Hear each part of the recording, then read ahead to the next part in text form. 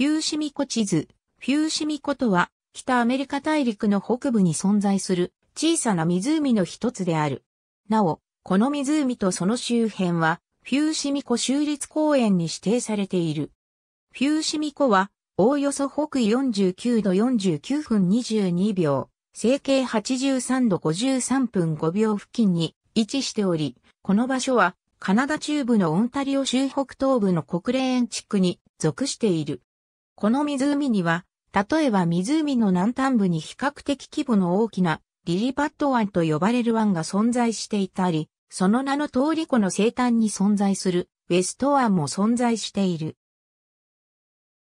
他にもいくつもの大小の入り江が見られる上に、湖の中には島も存在しているなど、湖の形状は複雑である。なお、湖は冷帯地域に見られる森に囲まれているものの、その湖岸には砂浜も見られる。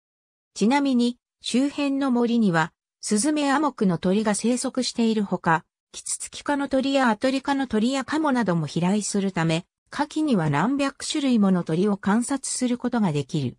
フューシミコエは何本かの河川が流れ込んでいて、例えば、バレンタイン川などが挙げられる。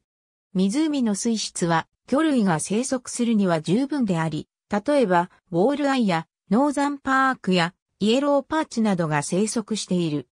そして、場合によっては、大アオサギやミサゴや白頭ワシが湖の魚を狩る姿を観察できることもある。なお、フューシミ湖から流れ出した水は、氾濫湖へと流れてゆく。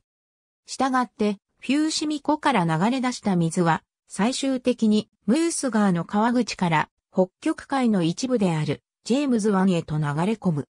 前述のようにフューシミ湖はオンタリオ州に属しているわけだが、この湖とその周辺地域は同州によってフューシミ湖州立公園に指定されており、保護地域とされている。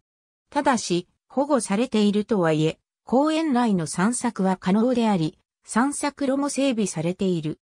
主な散策路としては、全長約 1km の45分程度で手軽に出かけられるアキレスレークトレイルと命名されたルートと、全長約 7km で普通に時間はかかるファイアタワートレイルと命名されたルートが存在する。そして、この湖周辺には下記に何百種類もの鳥類がいるため、散策中にはバードウォッチングも可能である。また、キャンプ場も設置されていてキャンプも許されている。なお、釣りは許可されているものの、狩猟については制限が存在しており勝手に行ってはならない。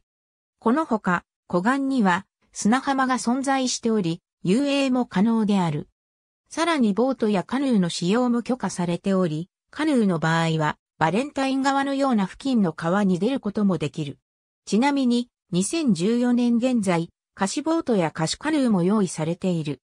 なお、2012年現在フューシミ湖州立公園の利用者数は伸び悩んでいるものの、付近の町のハーストにとっては重要な場所となっている。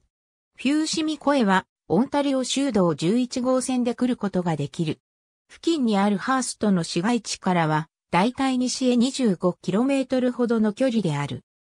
伏見レークハット、リリーパットベイ、ハットウエストベイハット AB 伏見レークプロビンシャルパークハット ABC 伏見レークプロビンシャルパークハット AB 伏見レークプロビンシャルパーク。ハット ABC 伏見レークプロビンシャルパーク。ハット伏見レークプロビンシャルパーク。ハット伏見レークプロビンシャルパーク。ハット伏見レークプロビンシャルパーク。ハット伏見レークプロビンシャルパーク。ハット伏見レークプロビンシャルパーク。ハットオンタリオローンチズパイロットアット3ノースイースタンオンタリオプロビンシャルパークスノーザン、オンタリオヘッドラインズの記事より、ノーツアバウト伏見レイクプロビンシャルパーク、ありがとうございます。